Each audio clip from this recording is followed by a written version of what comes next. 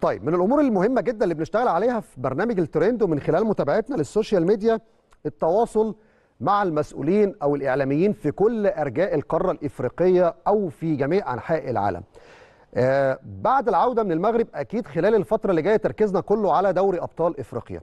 وفي الفترة الأخيرة كان في حدث مهم جدا انضمام اللاعب الجزائري أحمد القندوسي لاعب فريق وفاق سطيف الجزائري ولاعب منتخب الجزائر للمحليين واللي شارك في كأس الأمم الإفريقية اللي نظمتها الجزائر في الفترة الأخيرة بطولة الشان وظهر فيها القندوسي والمنتخب الجزائري بشكل رائع جدا ولكن ضربات الترجيح يعني ما كانتش سعيدة الحظ مع الجزائر وكالعادة كانت سعيدة الحظ مع المنتخب السنغالي اللي فاز بركلات الترجيح. لذلك في هذه الفقرة معانا في Trend Online عبر ال Skype الإعلامي الجزائري والصحفي الجزائري في الوطن القطرية الزميل الأستاذ وحيد بوسيوف عشان نتكلم معاه على صفقة أحمد القندوسي نتكلم معاه عن العلاقات الطيبة ما بين الأهلي ووفاق سطيف الجزائري وكمان نتكلم على دوري أبطال إفريقيا ودور السوبر وجميع الملفات اللي بالتأكيد مفتوحة في جميع الاتجاهات مع الإعلام في تحديدا في دول الشمال الأفريقي.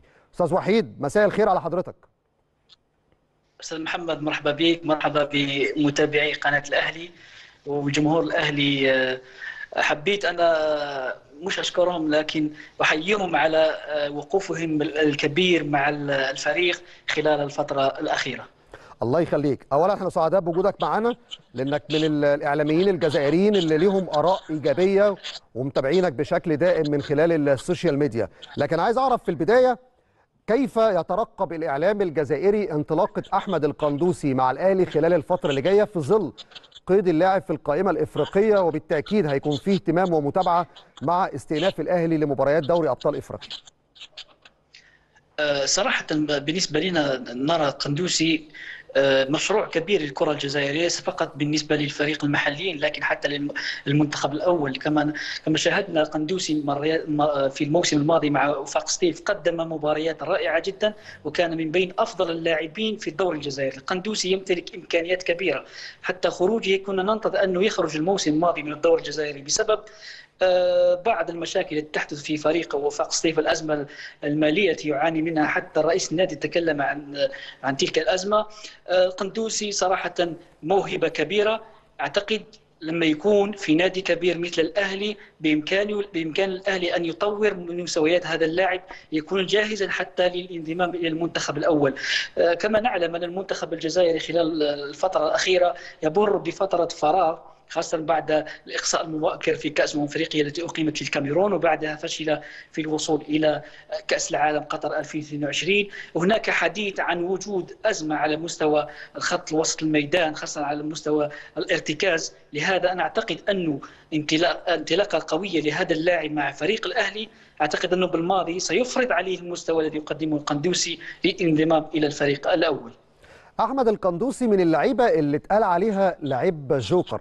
بيلعب في مراكز مختلفة. وأنا كنت شفت ليك تويتة من خلال متابعتك لانتقال اللاعب ومن خلال كمان متابعتك وشغلك في صحيفة الوطن القطرية. مراكز اللاعب ولعيب جوكر بيلعب في أكتر من مركز وتألق في كل المراكز اللي لعب فيها كمان يا أستاذ وحيد. بالفعل.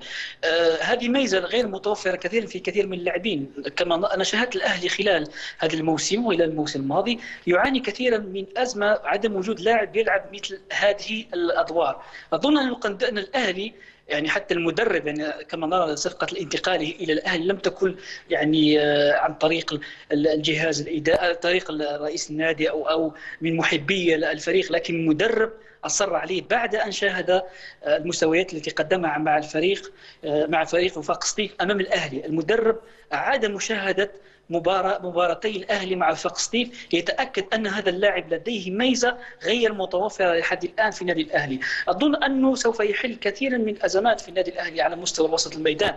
يجب فقط أن يمتلك الثقة. هذا اللاعب شاب صغير من العمر ممكن هذا الموسم افتقد لبعض الثقة بسبب كما قلت الأزمة الأزمة المالية التي يمر بها فريق وفاق سطيف مشاكل كثيرة على مستوى الفريق وهذا ما جعله يقوم بفترة فراغ بشكل كبير وحتى على مستوى المنتخب المحليين بدايته لم تكن جيدة للعلم فقط. لكن في مباراة النهائي أمام السنغال صدقني أستاذ محمد قندوسي كان من بين أفضل اللاعبين في المنتخب الجزائري أمام السنغال.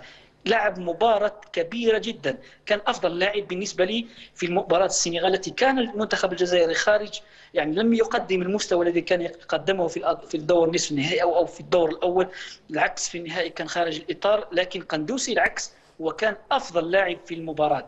لاعب صراحة كما قلت يلعب ثلاث أضواء ممكن يلعب ثلاث أدوار في مركز خط الوسط وهذا سوف يساعد أي فريق ليس فقط الأهلي أي فريق يلعب في صفوفه سوف ينجح في تقديم الإضافة له. لكن أنا أؤكد أنه في البداية كنت الكثير الكثير يتحدث عن عن قدرته للعب في أحد الدوريات الأوروبية سواء الفرنسي أو البلجيكي.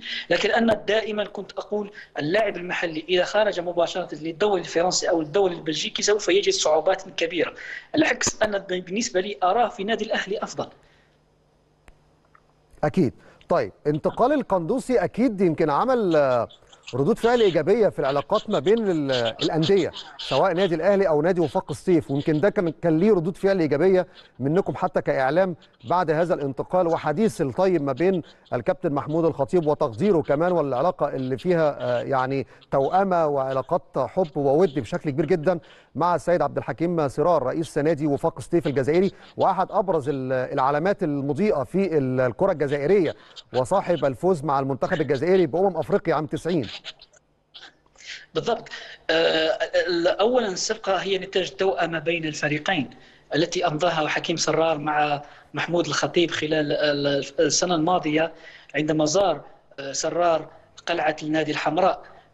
حينها أمضى على اتفاق توأمة أو بين الفريقين وهذا نتاج ظهر من خلال صفقة القندوسي.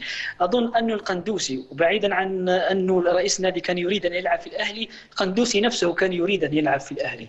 أعتقد كان مبسوط جدا. أعتقد أن الجميع شاهد حتى الصور التي كانت موجودة خلال مونديال الانديه حينما نزل أرضية الملعب وهو يرتدي قميص أو شعار نادي الأهلي. صراحة أنا كنت سعيد جدا لأنه لاعب يرتدي لاعب جزائري يرتدي شعار لأكبر نادي في إفريقيا وهذا إضافة كبيرة ليس فقط للأهلي بل إضافة للكرة الجزائرية.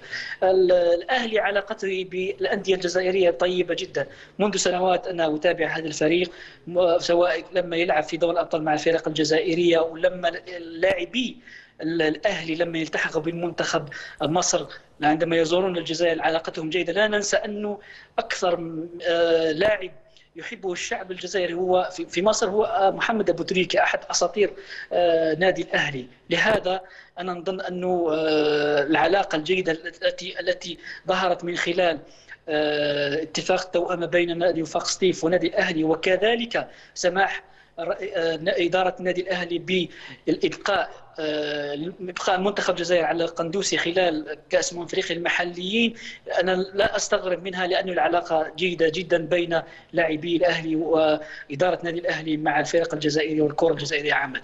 طيب آخر سؤالين معاك وهنتكلم فيهم بسرعة عشان وقتنا ملف دوري السوبر الإفريقي هل عدم وجود فريق جزائري بيسبب بعض الحرج أو الزعل للإعلام الجزائري إن عدم وجود فريق جزائري في دوري السوبر ولا في أمل في المرحلة الأخيرة ممكن يكون في فريق جزائري ضمن الثمانيه الكبار في النسخة الأولى؟ والله للأسف أنا عندما أشاهد خاصة تغريداتك أخي محمد بخصوص عدم وجود أي فريق جزائري خلال النسخة الأولى من البطولة غريبة جدا. الجزائر غير موجودة وتنزانيا موجودة. بفريق حورية كوناكري. يعني صراحة أنا أستغرب جدا حتى الإعلام الجزائري لحد الآن لم يتحدث عن هذا الموضوع ولم يطرح السؤال حتى على إنفانتينو أو موتسيبي حينما كان موجودا في الجزائر. لأن الموضوع صراحة غريب جدا عدم وجود فريق شبيبة القبائل أو وفاق سطيف أو حتى شباب الوزداد في في في النسخة الأولى. كنت انتظر أنه يكون عندنا فريق واحد على الأقل خلال النسخة الأولى. كيف لفريق كيف يتم تهميش الفرق الجزائرية خلال النسخة الأولى من هذه البطولة؟ ممكن البعض يتحدث أنه الأندية الجزائرية لم تصل إلى الاحترافية تتواجد في في الفرق شمال بعض فرق شمال إفريقيا مثل الأهلي لكن الجزائر في فرق بإمكانها أن تلعب في البطولة وأن تكون موجودة عكس الفرق الموجودة حاليا التي تم الإعلان لم يعلن عليها أو تلك المتداولة حد الآن في في كواليس إقامة أكيد. النسخة الأولى من السوبر الإفريقي لهذا غريب جدا أن يتم استبعاد الفرق الجزائرية ولو أنه ليس مش خبر رسميا لكن دائرة الأندية التي سوف تشارك لحد الآن هي معروفة ثمانية فرق غالبا لن تكون الجزائر حاضرا خلال أي فريق في هذه النسخة، لهذا أنا أتمنى أن يكون الاتحاد الجزائري أو يتحرك الاتحاد الجزائري بخصوص هذا الموضوع أن يدافع عن حقوق الأندية وحق النادي الذي المفروض أنه يشارك في هذه النسخة. أكيد. الإعلامي الجزائري وحيد بوسيوف والصحفي والناقد الرياضي في جريدة الوطن القطرية أنا بشكرك شكرا جزيلا على هذه المداخلة مداخلة قيمة اتكلمنا في ملفات كثيره جدا وأكيد الفترة القادمة مع فتح ملف ترشيح الدول المستضيفة لكأس أمم إفريقيا 2025 كمان هنتكلم معاه ومع كل الأشقاء في الوطن العربي عن الحظوظ في الفترة اللي جاية